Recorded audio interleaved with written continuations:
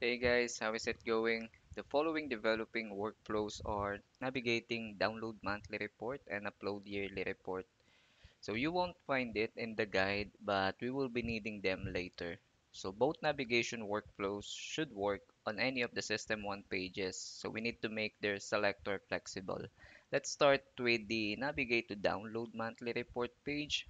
So in the UiPath Studio, right click on the System 1 folder and we will name this sequence uh, system 1 navigate to I will just uh, say download monthly report or DMR DM report.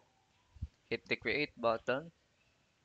And here we only need one argument and that is the um, download report URL So we will be navigating to that page directly using the URL.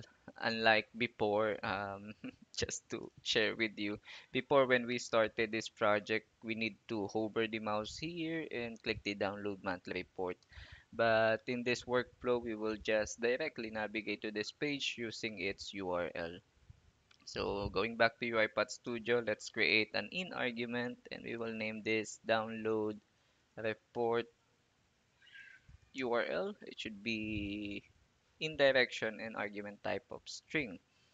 Next to that, uh, we will add an attached browser activity.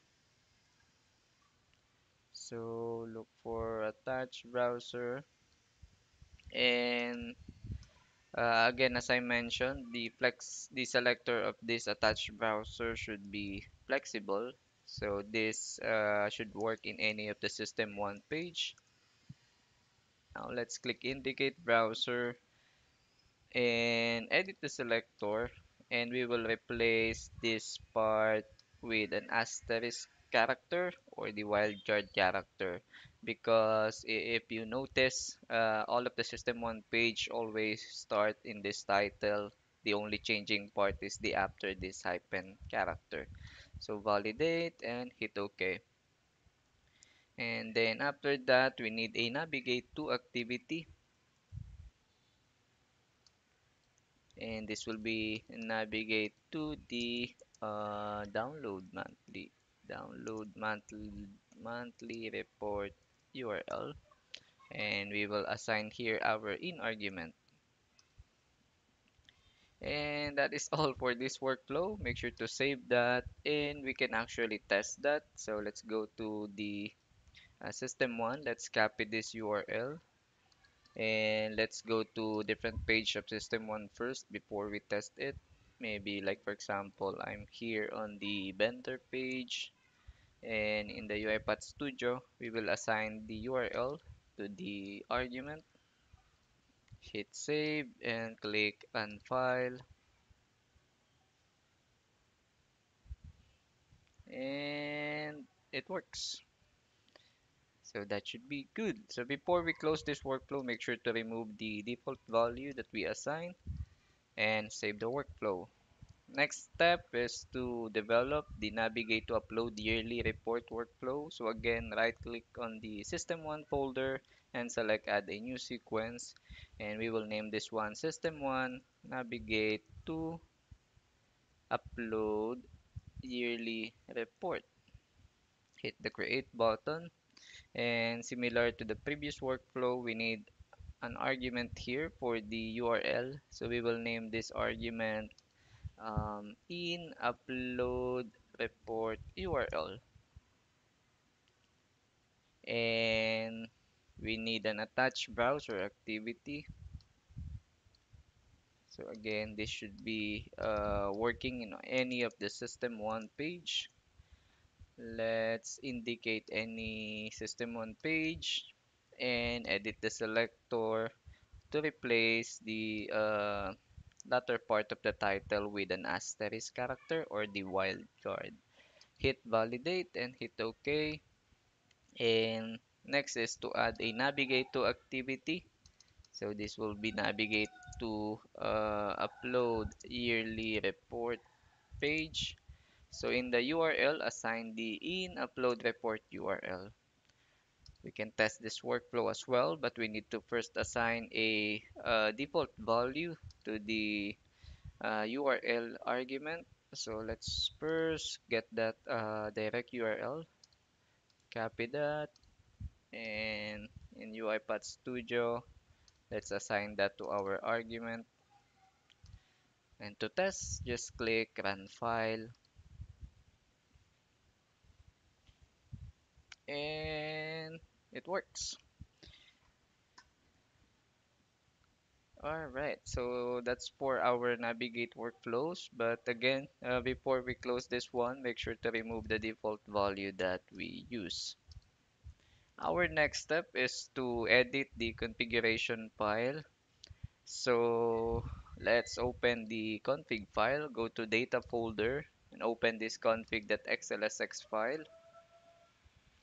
So here we will need to store the important settings for our project.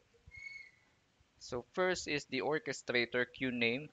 So we need to copy the orchestrator or the queue name that we created in the orchestrator. So open your orchestrator and go to shared folder, then queues tab, and then here copy the uh, queue item name that you created. I'm not sure if that's the same with with the queue name I I created. So in the configuration file, uh, assign that to the orchestrator queue name setting. Next, for the orchestrator queue folder, just input shared. That is the folder we are using. I will remove this uh, empty row here. Then for the log business process name, I will be using generate yearly report and performer. Then we need to create new settings for report directory. So for the report directory, uh, this is the folder path where to save the download reports. So it should be um, data and report. Make sure not to forget this uh, uh, backslash character at the end of the value. Next, we also need a system one credential.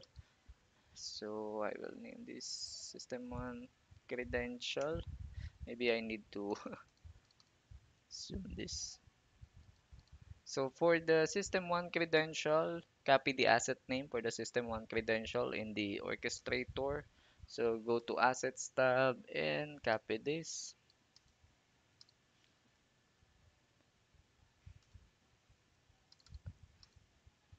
Next is the work items URL. That is the direct URL for the work items page. So in the system one, let's navigate to the work items page.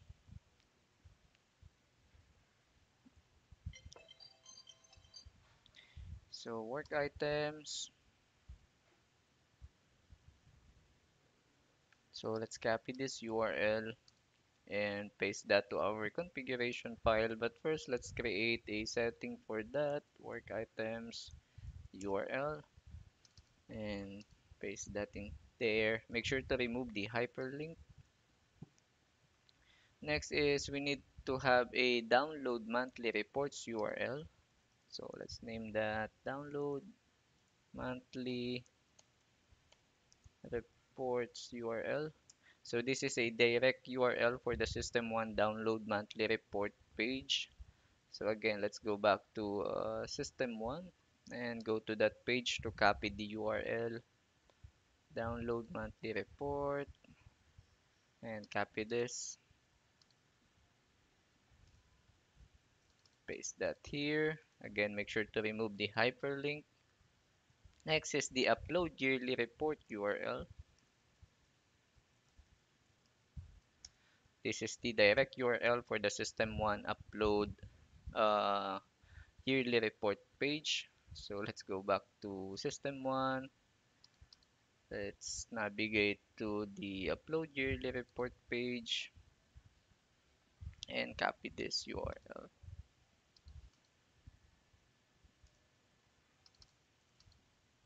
And make sure to remove the hyperlink. Last is the status. So for the status, it should be completed. All right, so let me just check if we miss anything. I think that's all for our configuration file. These are all the settings that we need later to run our complete project. So after you uh, update and add the additional setting, make sure to save your configuration file. And in the next video, we will be editing the the framework workflows like the init all application, kill process, and close all application.